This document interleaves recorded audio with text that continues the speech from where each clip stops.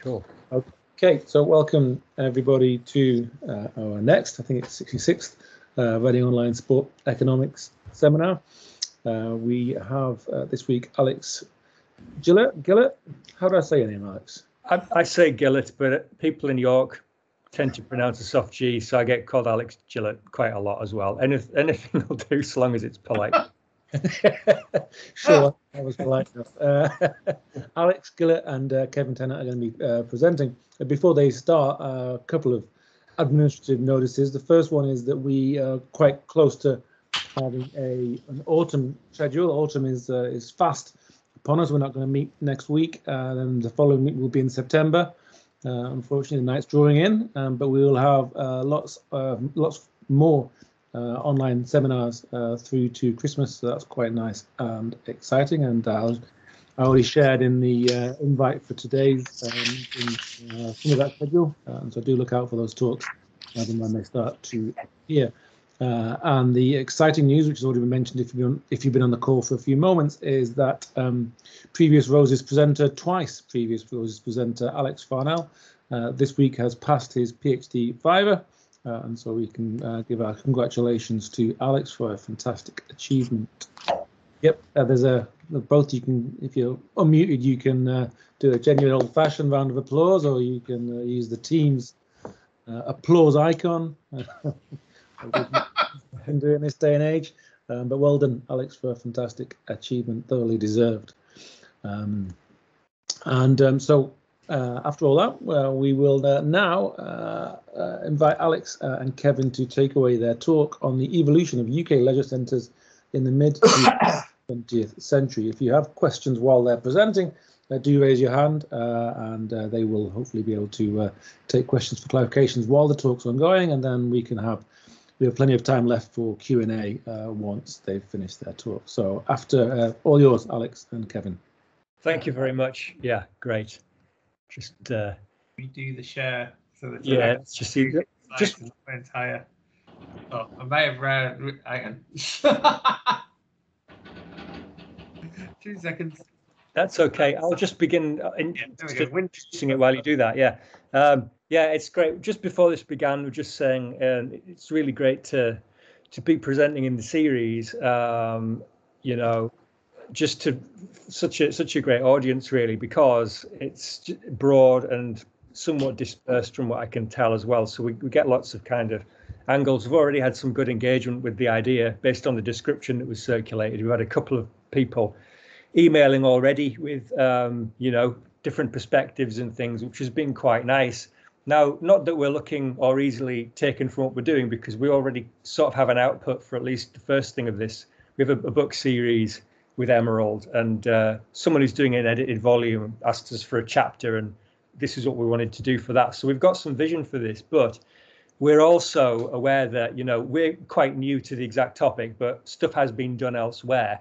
So we're just one of the things we're, we're hoping to get really is you know some ideas of what that is, what's being looked at, thoughts that come out about what, what could be interesting here, to make sure at least when we're doing our background and literature review, if not ideas for more research, or if not the the narrative itself, um, that we we include that stuff and we don't just write something that's this is exciting. We've just discovered it, you know, because we know that we're not the first people to to be aware of this, but we're doing we're trying to be as thorough as we can. Okay, so yeah, the evolution of public services, UK leisure centres in the late 20th century. Where this began, I guess, is because a few years ago now, maybe like eight, nine years ago, we were doing some research on English football clubs in the 1980s. And we were looking at the Middlesbrough Football Club as, as a case, and they had some um, carry on around a, a sports hall they were building adjacent to the stadium. And that was seen as being somewhat influential in the uh, financial turbulence that they were experiencing. It affected the cash flow basically, and uh, in, in, in a, a, big way. And, and meant that they had a lot of, of debt as well and, and liabilities and things. So that was quite interesting. But what we learned was that they were, um, what hadn't been written about more widely in histories of the, the club was that they were reaching out to other teams who'd already built sports centres, leisure facilities, and things as part of their uh, stadium or training ground that were op- open to the public and things. And um, yeah, we, we, we also traced back to that. We've got research into the 1960s and the World Cup and the influence of that. And we did some stuff on the FIFA World Cup.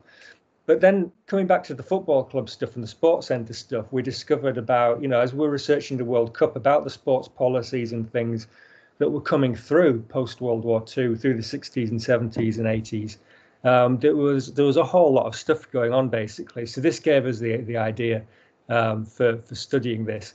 So we've done a chapter where we outlined sport as being a really good lens. If you want people want to research management history, sport is a good way of doing that because it ties in with business, with with government, with policy, and all kinds of things, and it, it gives it gives a good insight.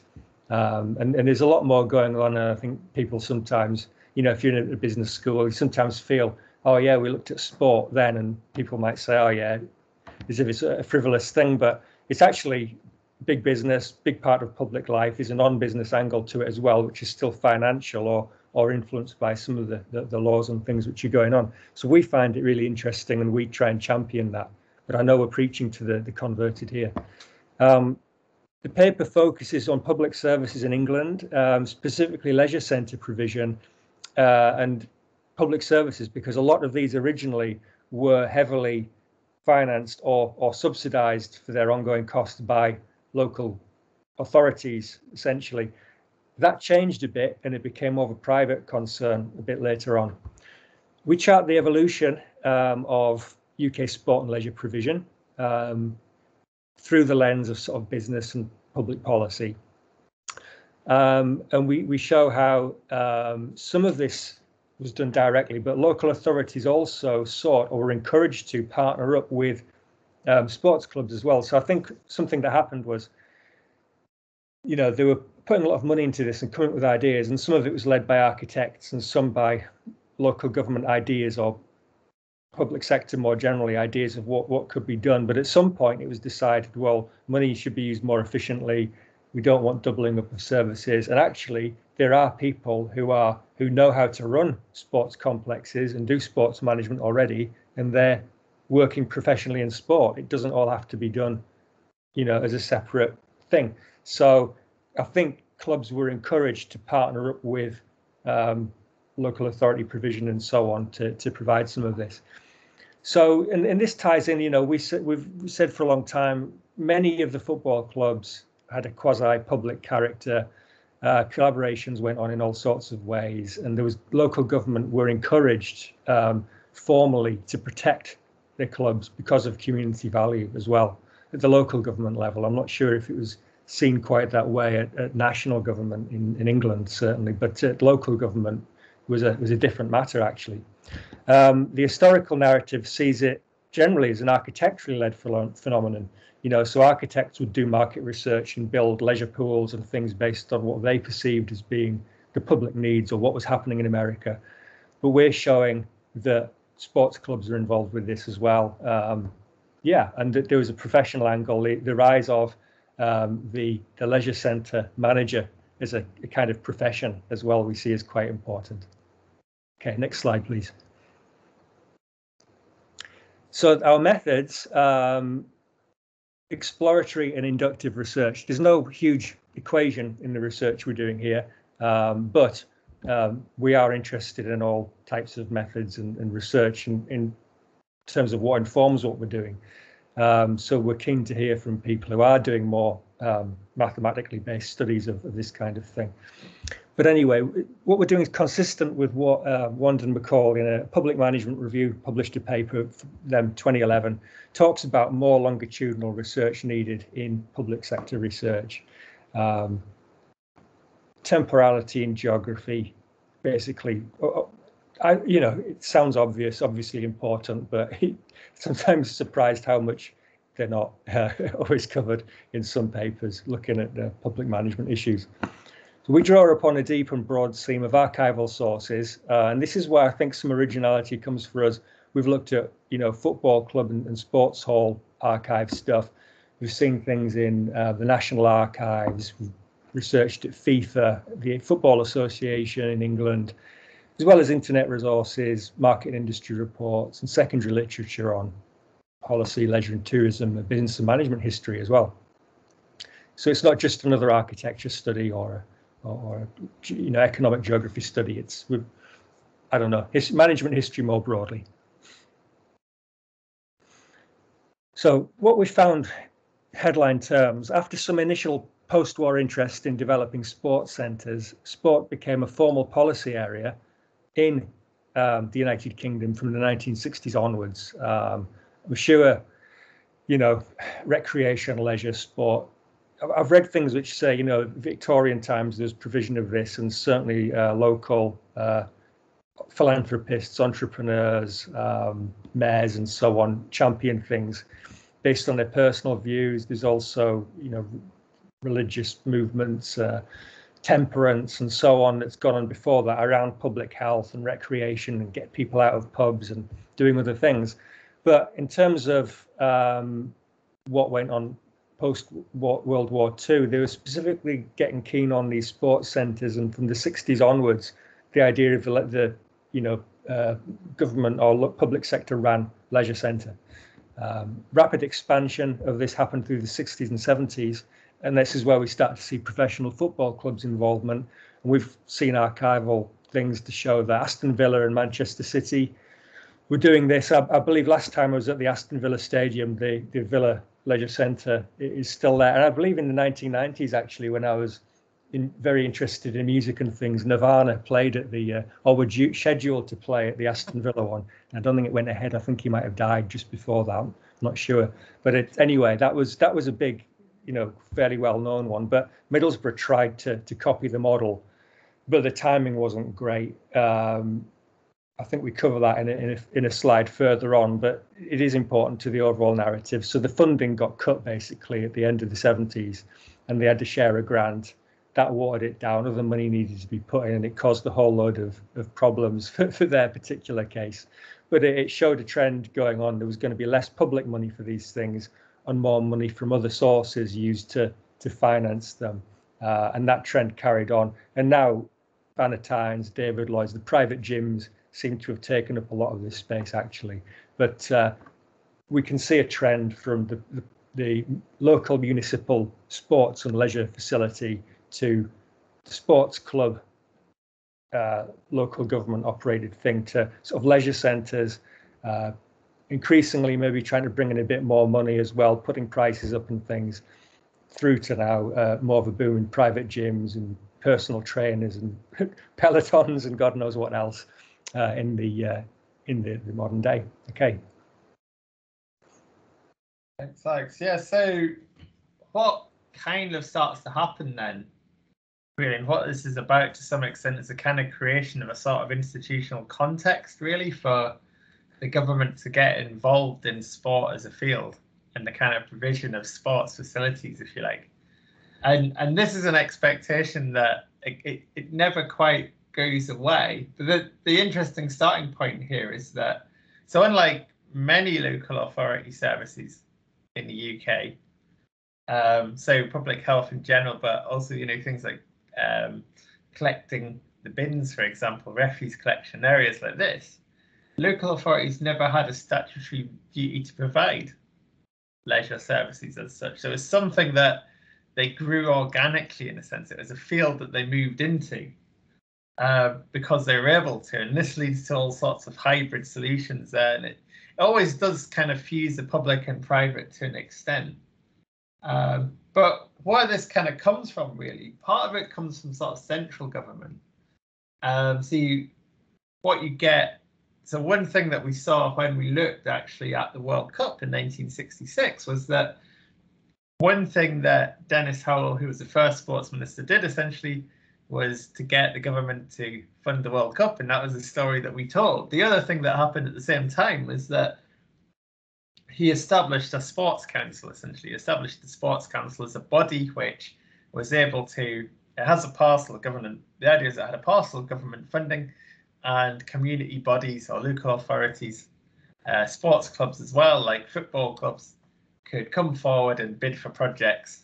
Um, and, and this is not with reference to any particular sport or even, um, as far as we can tell, kind of gender or things like that, or towards any particular social group, but it's just about the idea of disseminating kind of sport uh, participation. And the reasoning behind this really is that so from the late 50s onwards, the kind of moral panic really about the rise of youth culture. So what you get in the 50s, of course, and I became very aware of this topic when I studied. So I did a big project on music. I worked on a big project on the music industry a few years ago. And what you get is a kind of rise of kind of youth culture, the creation of the teenager in the late 50s, particularly, where there's this suddenly there's this kind of whole new category of people between children and adults that there's a kind of new awareness of. And at the same time, you have things like national service, which was a hangover from the Second World War, but still national service ending and and and and, and at the same time, kind of a, a gradual fall off in manufacturing employment and things like this as well. So what a lot of the questions come about around, well, what do we do with kind of young people essentially? So you've got people that would have gone into employment at 13, 14 before that and now not in employment until a bit later. This gives them more time to misbehave. Okay, so there are all of these kinds of issues around it. So the Albemarle report from 1960 creates a need for the government to start intervening in what's called youth work generally. And this is one kind of field of endeavor. Um, and, and, and part of this is a sense of, okay, there should be physical training, there should be opportunities for sport, um, or participation. There should be structure and things like this.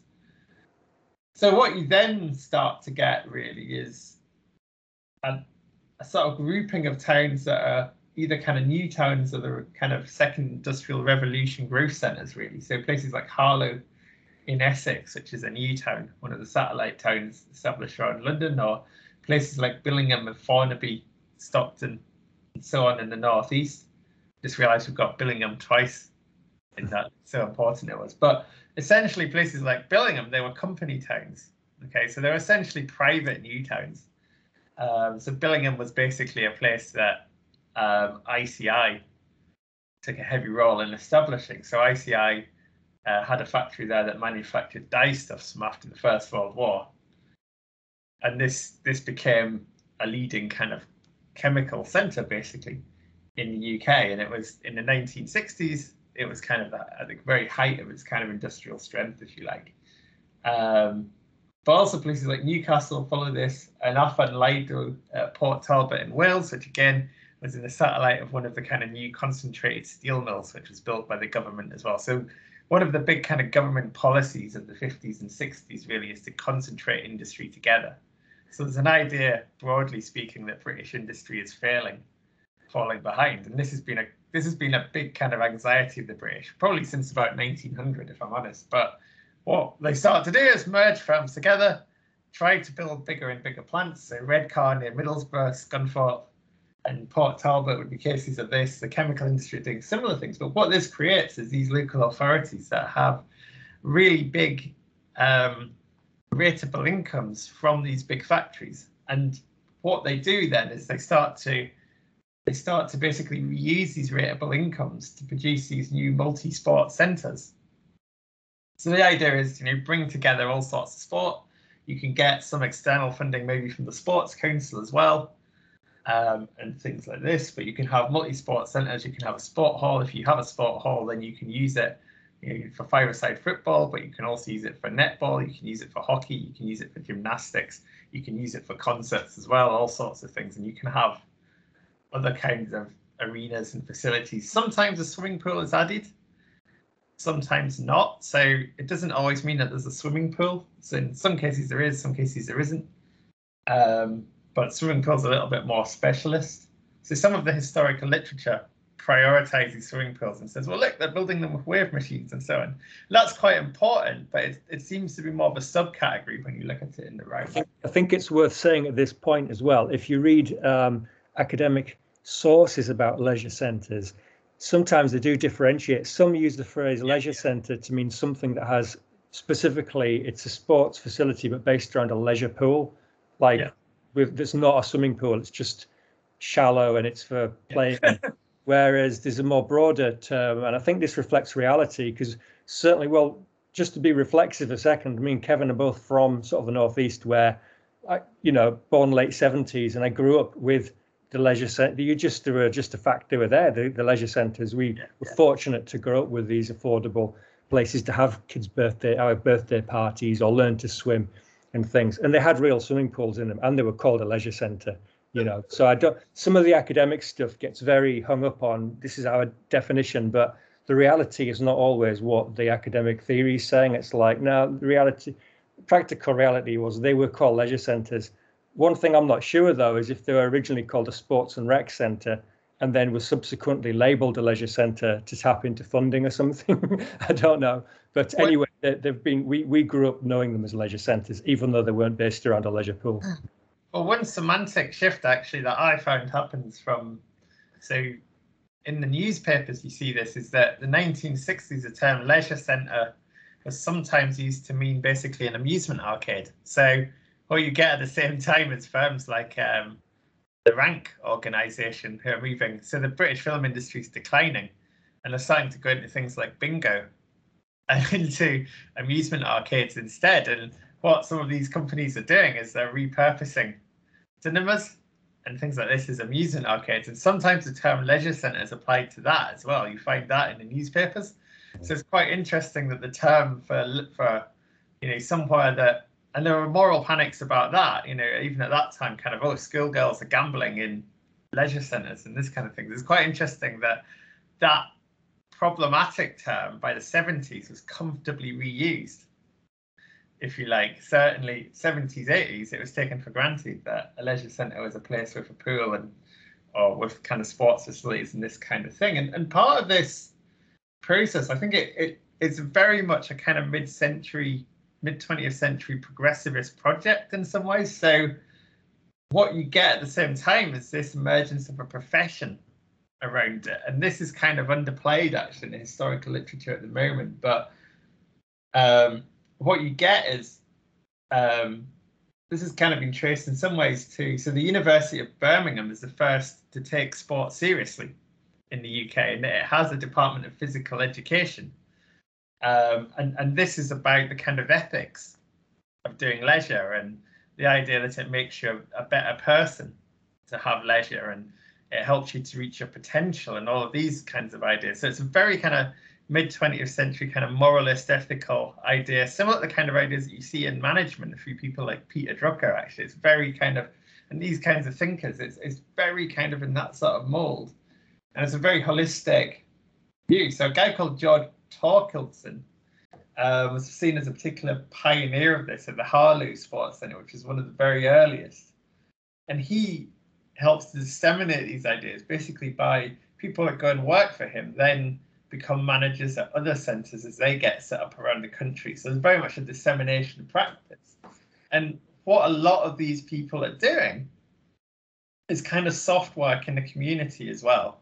So it's not that they're just running a building but there's things like hiring instructors, there's things like working out schemes of charges, running buildings, but also things like encouraging people to form sports clubs. So local, to, so forming football clubs, forming netball clubs. One of the Welsh league teams for a long time, Afan Lido, actually came out of the Afan Lido Leisure Centre. That's an extreme example, maybe, but there are many examples of these kinds of. And, and the idea of this was this was trying to engage different types of community and local community and to come and use the building and see it as a hub and all these kinds of things. So it's not just about you know doing sport as such, but it has a much broader kind of social mission. And and this is then encapsulated in the formation of professional organizations as well, which continue to exist exist now. And of course, one of the more famous sitcoms eventually was about a leisure centre manager as well. So for those of you from the U, not from the UK, this is Gordon Brittas, who was very much the kind of stereotype of a kind of you know leisure centre manager who thought genuinely thinks he's kind of improving the world by encouraging people to take part in five-a-side tournaments and things like this. So, so it's very much this kind of idea. So by the time that the 90s come around, this idea has become kind of something that you can even make comedy about, if you like. It's become something that can be parodied, and that's quite interesting. It seems to be ba- it seems to be based on some of the. If you look at the shirt of yes, look at the shirt. it does there does seem to be a likeness in the shirt and maybe the maybe something in the eyebrows and the smile there as well. I don't know if it, we couldn't say for sure if it was modelled on uh, on Torkildsen, but I'm sure that he uh, that that was that was intended. Well, having looked at Torkildsen's book, I can see that there's some kind of there's definitely some sort of which starts with, you know, he uh, Torkildsen's book starts with the kind of uh, ancient Greeks as the yeah. and builds this grand narrative of leisure. It's quite interesting. So yeah, so so what happens in an empirical sense really is that these things start to happen, and kind of the the Labour government after 1964 really promotes a kind of a, a culture, an idea of sport for all, which gets disseminated particularly um, through labour councils, but but also through kind of local government in particular. So um, so this was based on the the recommendations of the Wolfenden Committee, which really get implemented after Labour kind of come into power, if you like. That's not to say that the Conservatives before didn't try to do things like this, but the Sports Council gave much more of an institutional structure. Um, and so um, around the time that England host the World Cup and win the World Cup and so on, this kind of dissemination really starts to starts to kind of kick off, if you like. Um, and and this is a period when kind of awareness of deprivation in urban and inner city areas and so on is starting to starting to grow. So what we then see is, yeah, what Saumarez Smith calls it, you know, he sees it as kind of being about the expansion of the social democratic state. And this is the kind of post 1945 kind of settlement in Britain in which the idea was is that you had a kind of a triangle, if you like, between the kind of trade unions, government, and business, um, which was running the country essentially, a kind of consensus that there would be, um, as long as kind of uh, competition and um, yeah, kind of business-based state were allowed, there would also be a kind of social democratic state, a kind of mixed economy. Um, so yeah, so what you get is continuing spending on this. So by 1973, there were about 170 centres. The numbers vary differently when you look in different sources, of course, and that's that semantic thing about what is a sports centre, what is a leisure centre. But certainly the numbers keep expanding, and the local government reorganisation in 1974 when basically many local authorities get pushed together into bigger super local authorities provides a new impetus. So you get larger local authorities, you get formation of new metropolitan counties for a while, and this forms larger local authorities kind of with more resources. At the same time, this is when you start to get professional football clubs um, getting involved in it as well to some extent. So they're getting interested in building and operating indoor training and leisure centres for their own kind of purposes, and also the possi- they have the possibility of applying to the Sports Council for this money to fund um, sports halls, which you know, they can use for their own training. But of course, as we know, footballers train for about two hours a day in the morning. So the rest of the time that can be hired out to the community the argument goes. So we start to see football clubs, for example, getting into this area. Um, and, and, and it's also, yeah, this can be allowed to or used to reach communities, reach out communities, make reuse of resources in different ways, use the facilities a little bit more. But certainly at the same time, the local government side is continuing to get and expand.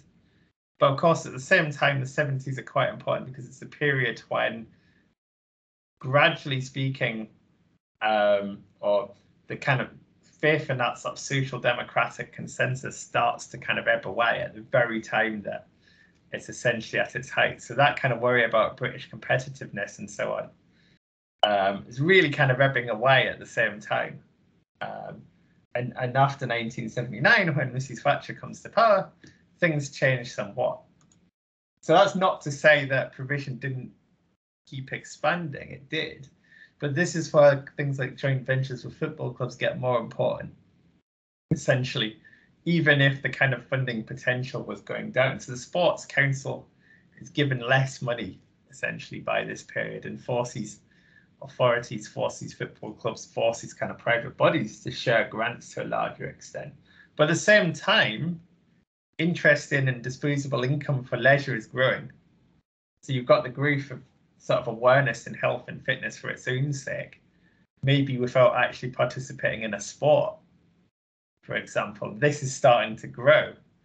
um, at the same time. So Jane Fonda being a good example of this kind of trend and these kind of ideas starting to grow at the same time. So the expectations of provision keeps growing and local authorities are starting or they keep building leisure centres, sometimes on a much grander scale. I mean, I came across um, the building of what's called the Dome in Doncaster. Um, a report on that in the Guardian where they say you know it's costing them 20 million pounds and funding will come from the sale of local government land and they're hoping to get some EEC money. So the EEC is on the kind of scene by this time as well.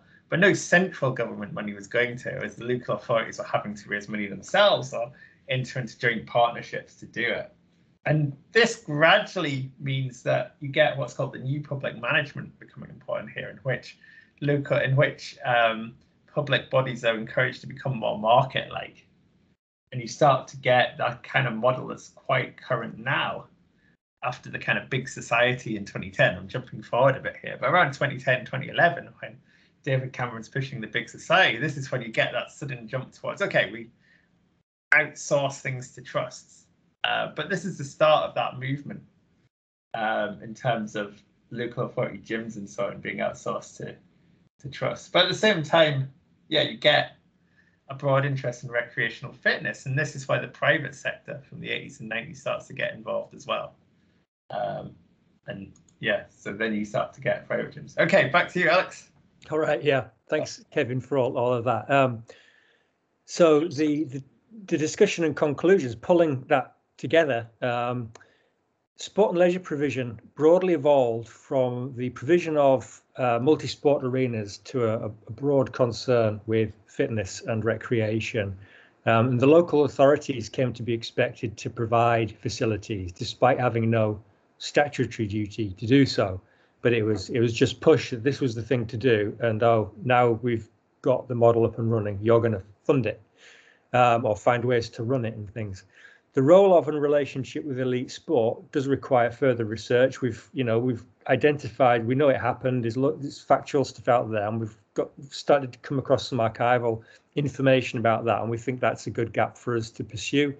Um, for bringing it to like management, um, Kevin mentioned Drucker and his idea of the rise of the manager, and I think, you know, interestingly, late 70s and 80s, Drucker stuff was um, distributed as well, or his ideas were distributed through pamphlets, through, um, if, if not pub, you know, some of the public sector and also some of the sort of British champion industries like the ICIs and things, which were in a way funding some of these facilities as well. So we do see the rise of the manager and the rise of the leisure centre manager, and that become, uh, as Kevin pointed out, something of a profession with its own accreditations and training and sort of broad skill set it went from being we need someone who's a PE teacher, now you can run this sports centre, to someone who has a, a, knowledge of business but of leisure as well and can blend the two things and then can manage and oversee the fitness and training experts or even outsource some of that and have a space like almost like a barbershop model where here's the rooms, we hire them out and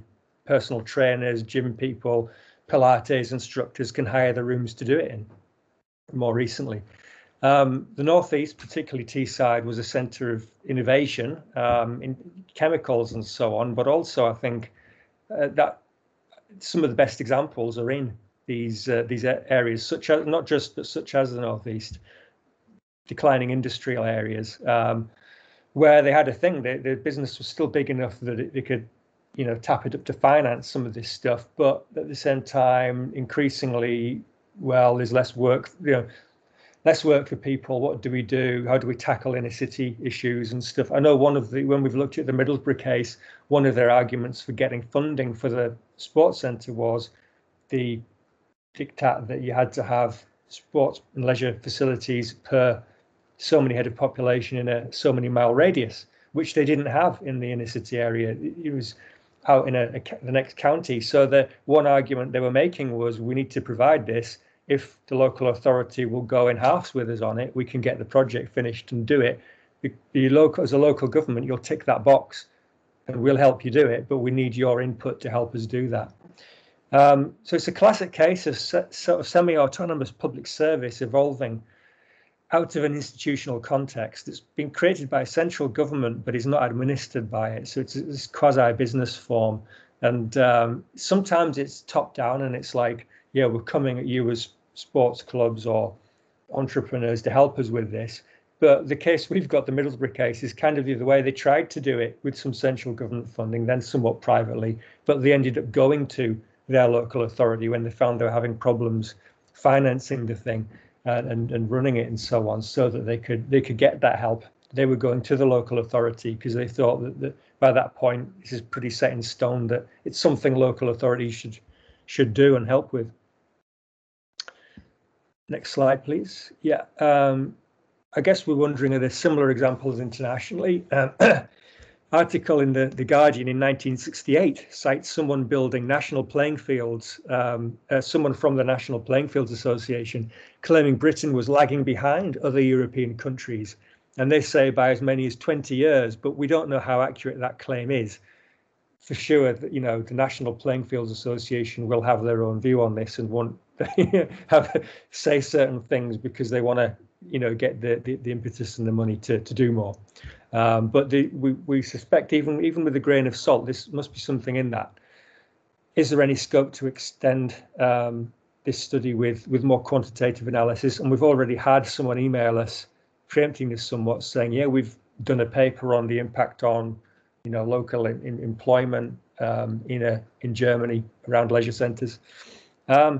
Um, we focused on business and management history and to some extent public management literature, but what have we neglected here?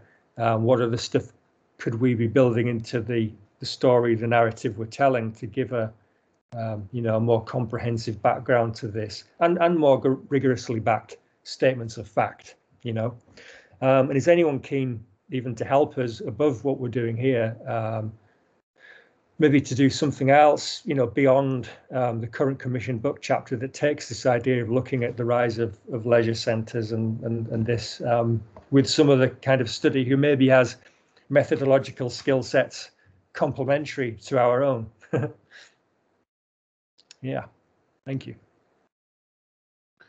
Okay, thanks, Alex. Thanks, Kevin. Uh, that's really interesting. Um, it's one of those things where the older, the older you get, the more you realize things weren't always how they were when you grew up.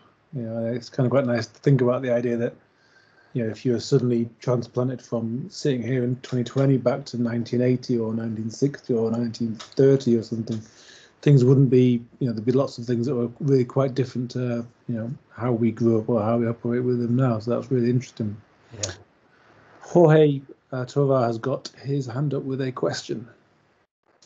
Hi, hello. Uh, this was a great talk, especially because I lived in Oxford in the late 70s when my father was doing his PhD, and it remembered me a lot of my life there as a kid. Great. Um, and my question follows the, the, a bit the story of my life because I in Oxford I used to go to a swimming pool. I had a chess club, and of course football. uh, and then I, I went to Spain in the 1980s, and they had what they call every town, which is the same thing. It's but mostly ded- devoted to the sports only. And now I'm back here in Colombia, where I'm from, in South America, and uh, we are more than 20 years lagging behind everyone else. And we have these interesting discussions in terms of sports policy and, and sports as public policy, and kind of discussing, okay, we should work on this type of, you can call it either uh, sports areas like in Spain, polideportivos, or you can call it uh, leisure uh, le le leisure, I forget the leisure areas like you have in, in the UK. But I guess one question we are uh, discussing here is, okay, you know, a priori there is this discussion that it is of course a good investment to have uh, kids and people and communities move into these spaces and create community and devote time in a worthwhile way but I was wondering if you have uh, researched or investigated a bit on the actual social consequences for the community, maybe for the local communities. Uh, was there less crime? Were there more more girls going to at the time, you know, going to a university? Was the, what kind of effects do you think this type of uh, areas had on on at the local level? I think that's a really good question, and um, we've not found. You know, the, this, the simple answer is we've not found a great deal um, of stuff to prove anything. You know, either way. I'm now there must be some. Well, I say there must be in this day and age. They'd be evaluating things left, right, and centre, especially if it had European funding and this kind of thing back then, I don't know to what extent these things were were measured tangibly, or they did, um, or they kept, you know, did formal surveys or or even more, you know, wider studies, looking, you know, drawing data from other places to try and build a picture of this. I don't know to what extent data was available or they sorted out. Now, I think it's a really good question. I think one thing we'll have to do is try and look at, you know, if we can find some of these locations like I've identified where the leisure centre was seen as a great thing, mu- municipal thing, and and so on, to see what was done actually by maybe by the local authorities there in terms of evaluation, because I've not come across anything yet that gave any actual hard facts on this. Now there was things in like the local government chronicle we've seen, which tried to encourage local authorities to save their football clubs and the grounds because of their community value more broadly. And they talk about, well, you know, and we've spoken to local government officers from the time who say, well, yeah, it's somewhere like Middlesbrough. Why else would anyone from Manchester go there on a Saturday afternoon or think of it? You know, you'd be to see football ever. So there was some maybe some soft power and maybe some mild economic effect. I live in York now, and they, have moved to a new out of town stadium. But it used to be you could hear the fans come off the train sometimes and walk through, and they would do a bit of a morning through town into pubs and things. So obviously, a few hundred people coming in and bringing some trade um, on a route to the stadium. Um, in terms of the leisure centres, I mean, yeah, the benefits are more. It's not just about do people come and spend money in the local pubs and stuff. It is what are the longer term outcomes for the people. And I don't know. We could look at maybe figures on um, yeah, like sport take up. We could look at, and and I think it comes to there's another point here as well in terms of there was a the policy for a long time was sport for all, and that's what a lot of these things were for, but that didn't lead to um, world leadership in sport for Great Britain. And some people have said maybe perhaps the opposite that it didn't help elite sport, and then we didn't have the figureheads and the inspirational people or the dream that you could achieve it. And then it, it kind of declined a bit and people lost interest in sport and fitness somewhat. I don't know if it's true, but it's kind of a theory I've seen written.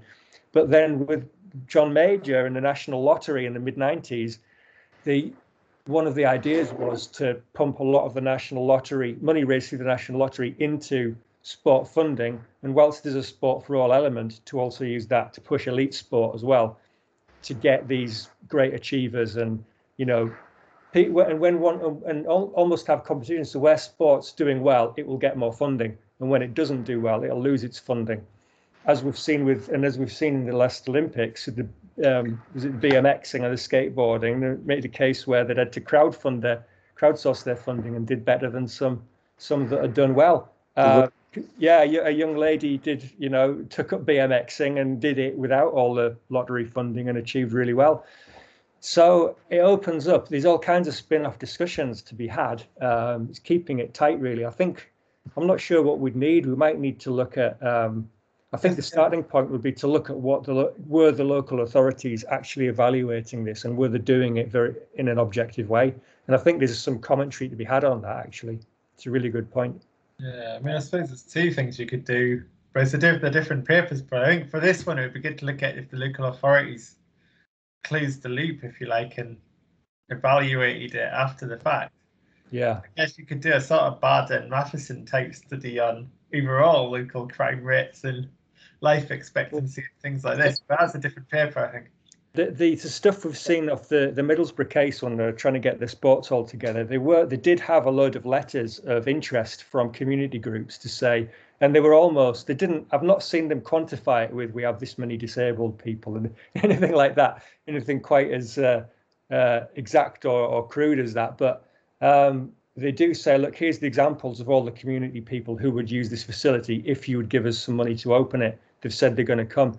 and there were there was like you know older age groups, female, male, disabled, many types of communities. So they were trying to make a case that you know, yeah, we haven't got an, we haven't got a bar chart or an exact figure to show this, but here's a flavour of the types of groups who've shown a they've put in writing an expression of interest in using the facility.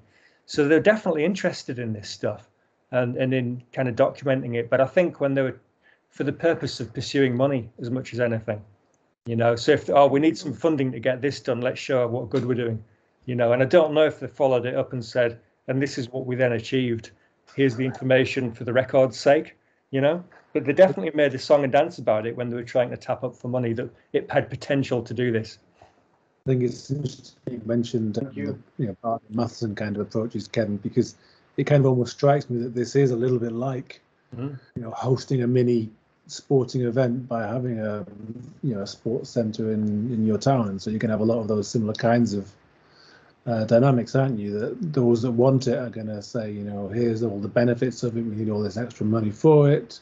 Um, and obviously likely uh, inflate the likely positive impact in order to make sure that it happens. Um, thing that struck me uh, just thinking about the way when, when you're talking about that is um, there must be archival materials in local uh, archival offices and things like that because they're often run by local councils, right? So presumably, you know, because when, when you try and look at old football club information, you find that because the club was you know, went bankrupt and was taken over by someone else, you know, they torched all the old books and things. But presumably that's not the case for you know centres and councils and things. Well, yeah, I mean, there's stuff between the football club and the council. A lot of it sub various subcommittees and it's just not even through the archives not traceable i mean we've had some look through private individuals who were working at the council at that time talking to them about it or seeing the odd thing but we've had a, a colleague we used to write with he went to the the teesside archives to find evidence of stuff about the sports hall and the council and local authority involvement and there's just nothing kept you mm. know so i don't know but yeah. it's it's a really good idea i think you know a starting point might be to identify some of these hotbed places and then just tap up the local archive and just see what we can see about it. Remember, Kevin, who went to Newcastle and they had all that stuff about, oh, yeah. the, you know, the, the carry on when they were Newcastle United and falling out about the World Cup hosting and the stadium and the great the grand plans for making, uh, you know, putting motorways through the city and things. Some of which happened, some of which didn't.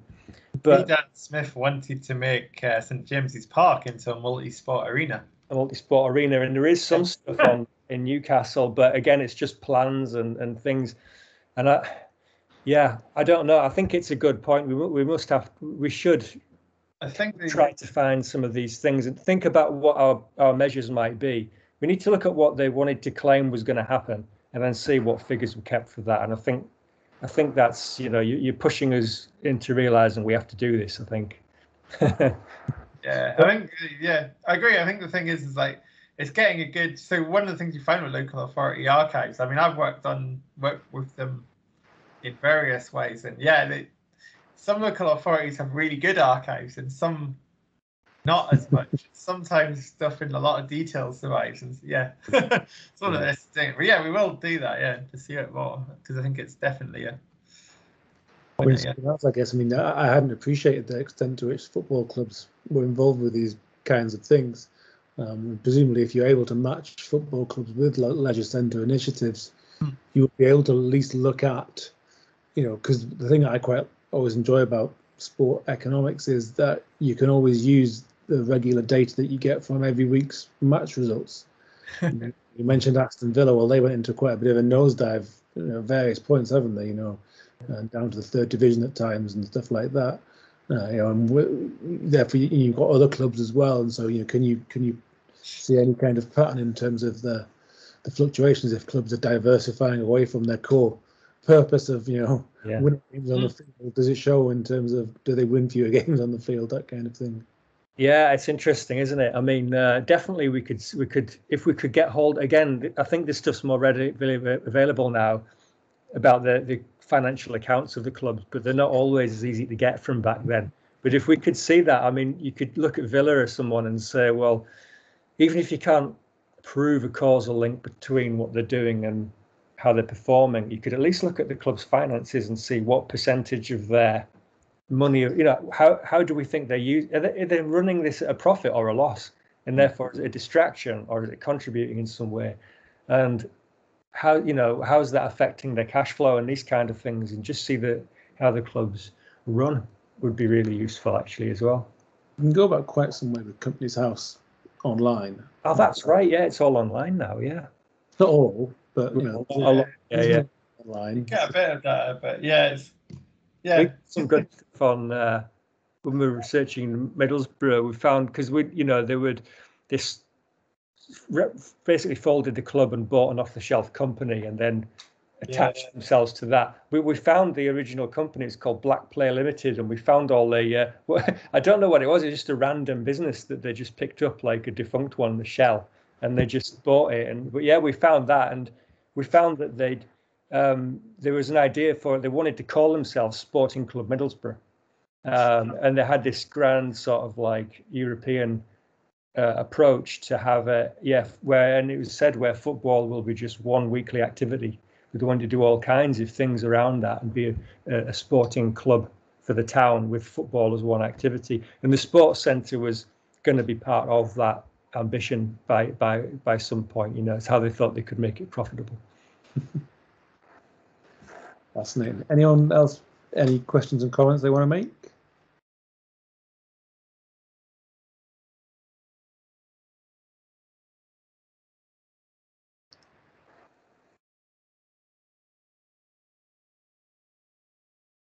I think one of the things that's quite interesting, I guess, is that international perspective that you mentioned, and whether whether whether we were, you know, the UK was that far behind because presumably there wasn't the same level of travel, so it wasn't that you could travel somewhere else and spot just how far behind we were, and so you could make the case we're so far behind, we've got to do something. And, and, and, it always seems to be if someone's far behind, no one ever says we're three years behind. They always say we're 50 years behind or we're 20 years behind. So I don't know to what extent it's a turn of phrase. It's a bit like saying, oh, it was the size of 10 double decker buses or three forests the size of Wales or something. It's just a standard uh, truism, but I don't I don't know how accurate yeah. it is. So people make a point with it, don't it? It's a turn of phrase. It's a British psychosis as well. Um, in some ways that oh we're mm. falling behind, so therefore we must make big investments in this thing to catch up. So um, uh, yeah, so I think that's the um, that's the thing, and so there is that kind of sense, yeah, that these kinds of facilities already exist on the continent. But how far? That's that's one of these great nebulous British terms. So how far that's true is also an important point. Is that when these things were run, um, it seems to be that they were they would charge people 80p to get in, but it cost them one eight one pound eighty per person really to to fund it. So they were running them at a loss, but they can only raise so much money off, you know, rates and things. Whereas on the continent, maybe there's more of an appetite in some countries to pay more of your income in income tax. So there's maybe a bit more money available to spend. Therefore, people might expect a bit more back in terms of these things, and the money's available to do it. Whereas in the UK, it's this hybrid. We're not quite.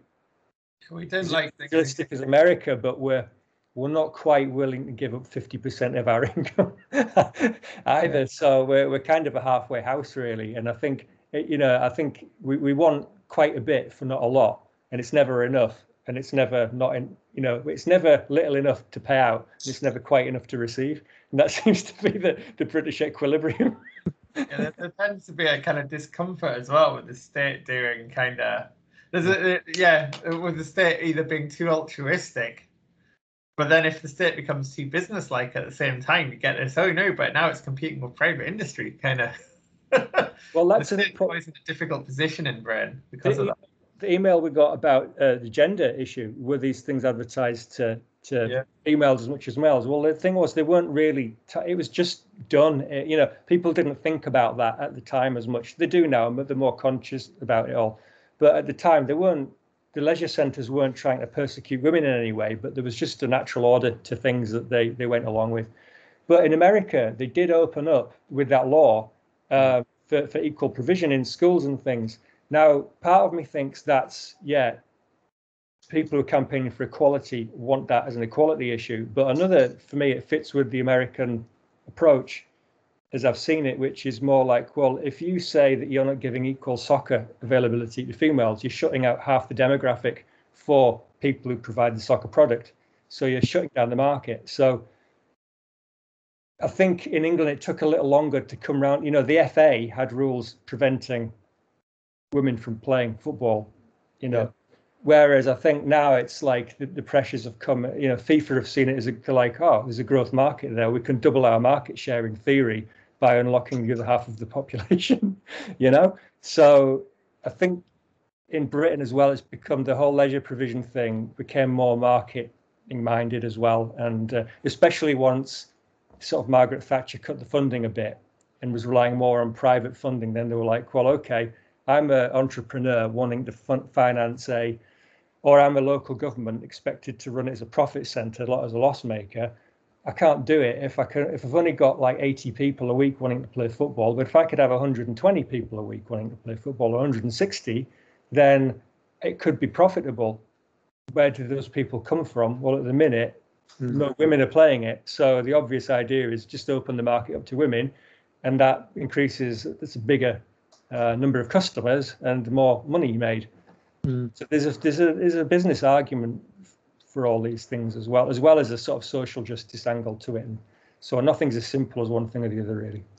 yeah, I mean, I think the other thing is that what's often neglected in is kind of so what what's often forgotten in kind of historical views of sport as well is that in public policy sense it grew out of education in Britain to some extent as well. So it was a so one of the ways that you see that is when they set up the first sports centres, the instructors and managers are employed on the further education uh, salary structure, for example, and they're employed as lecturers in or instructors in games, you know, and that idea then runs through from you know we had quite you know in british schools we had segregated classes for males and females for a long time we had until mm. the 70s i think in some cases certainly uh, you know boys and girls queued up at different entrances they had kevin we, we'll have been the first people in our families to not go through that sort yeah. of segregation or apartheid approach yeah. to education you know as we as we see it but the people the generation before us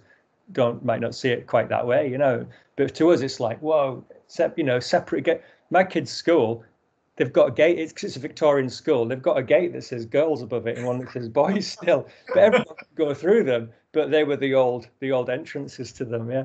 Well the kind of consequence of that was that they so so it's not that women weren't playing sport, but they were playing sports that were considered female sports like netball or hockey, and so the, so when you get to this multi-sport provision idea, what you're getting is oh yeah, we can build an indoor sports hall and all weather pitches that can hold both netball and football, say, and so that's where that kind of angle is going, and I think that's that's often the sort of I think that's often the sort of forgotten element in it in a sense is that it's kind of the impact of it's not to say it's correct, but the impact of the FA's discrimination may have been that women were pushed towards other sports. It's not that they weren't um, participating as such. Mysteriously, there's never been much of a push for men's netball.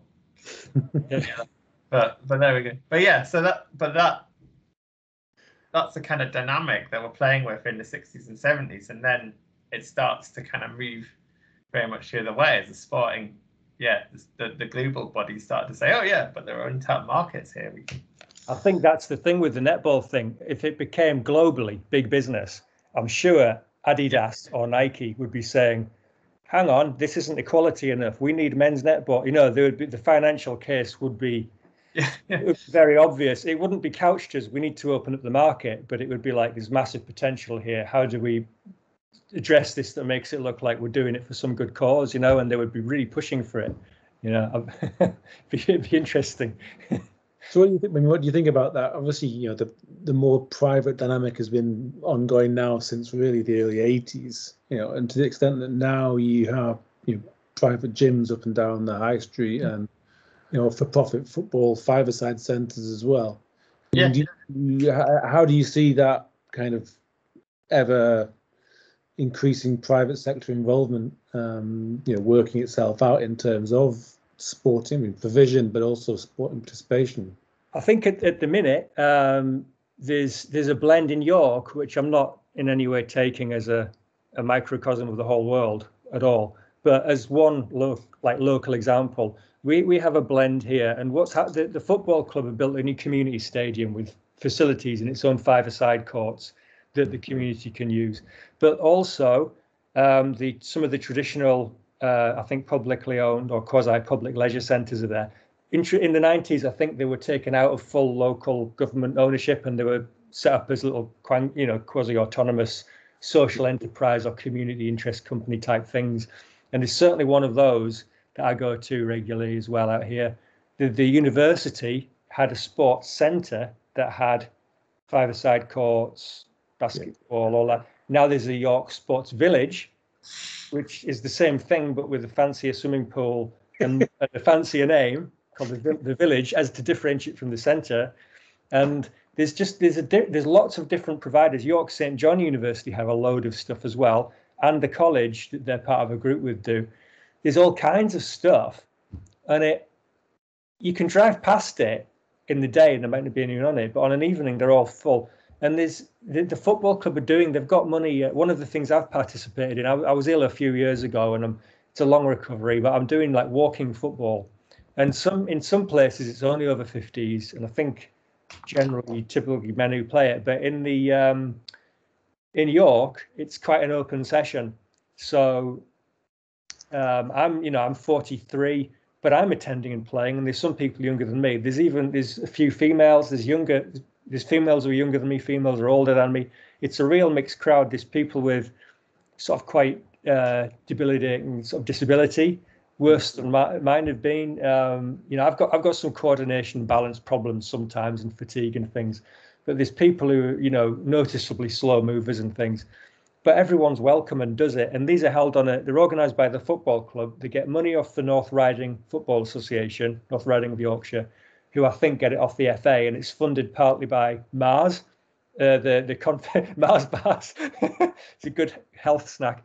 Um, and but, but, they use some of these sort of, for want of a better word, Quango pitches, foot their own football club pitches, the York uh, University pitches. Sometimes I think, sometimes they, and then they do things for little kids as well. Um, holiday football sessions on the park near here, mm. and things.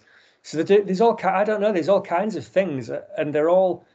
You could see it as like, well, they're competing, and the the public will get the most efficient thing because with all these different people providing it, the best will prevail.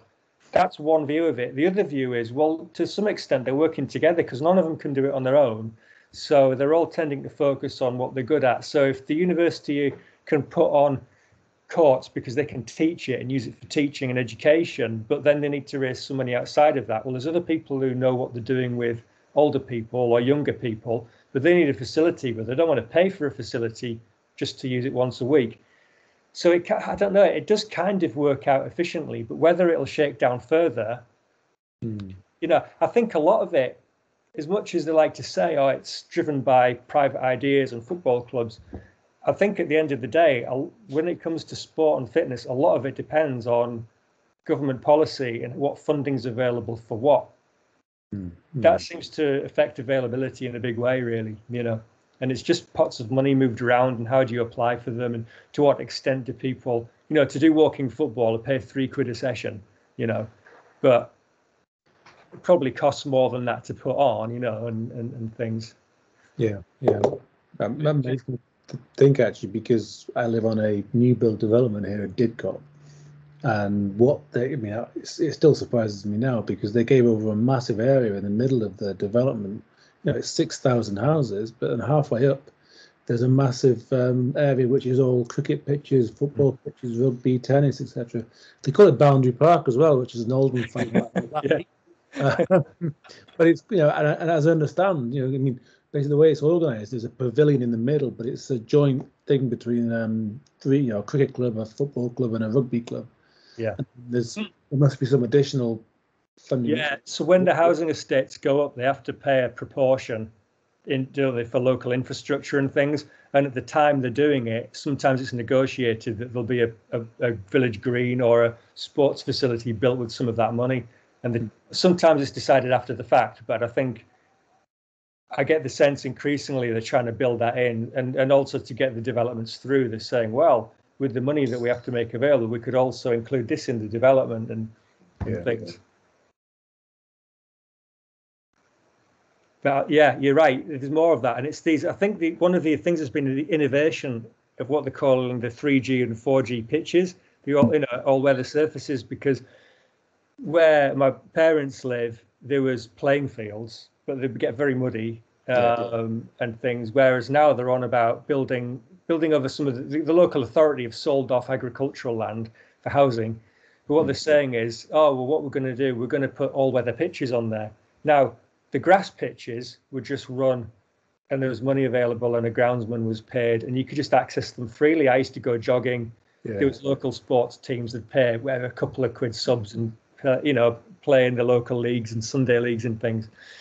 But it was boggy. It was what it was. Um, like now they're on about putting these all weather courts. You'll have to probably presumably have to book them and pay for them more formalized and it's keeping the public off public land. It's been hived off for private things. But at the same time, if you can book it and you're prepared to pay a little bit, you can use it more in a way because it's not going to be like complete mud bath for half. All round. Yeah. Yeah, so you know, swings and roundabouts really. I, I don't know how I don't know how I feel about it. I like the traditional grass. It's good for nature. It's good for public access and all this. But I think some of these all-weather surfaces um, and the way they are now is is pretty good and pretty exciting, especially for kids to learn to play because they can do it more year round and you can work on skill a little bit more maybe as well and you know who who can hoof it through the mud the most you know Yeah, an interesting thing was uh, I seem to remember the English FA were very resistant to pyramid clubs getting 3G pitches for a while, even though it would reduce the number of matches cancelled. Yeah. on Saturdays, which was Well, it still is right because teams that come into the football league still have to rip up their fields. So Sutton United have had to this season. Harrogate Town had to last season. So there's still some, you know, obviously lower down the the pyramid. It's it's now more acceptable, but the football league certainly seems to still put in place restrictions. yeah Okay. Any more questions from folk?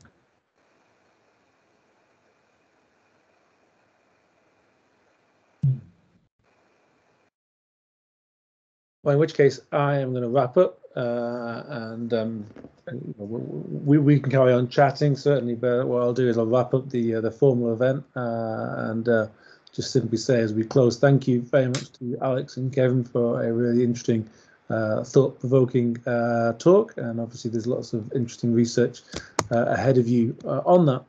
Um, we're, as I mentioned earlier on, we're going to take uh, a break next week. It's the um, it's the late bank summer bank holiday here in the UK, uh, and we'll then return on September the third when Benedict Schmoll uh, of the University of Düsseldorf is going to be presenting the long shadow of an infection, COVID-19, and labour productivity. Um, so please do join us in two weeks' time. Uh, and in the meantime, have a great weekend uh, and a great uh, bank holiday if you uh, happen to be in a place where there's a bank holiday the week after next. Thanks so much, everyone. thanks for your question and uh, and yeah thanks everyone for, for paying attention and, and coming to talk. It's been great. Yeah, thanks everyone. Taking part.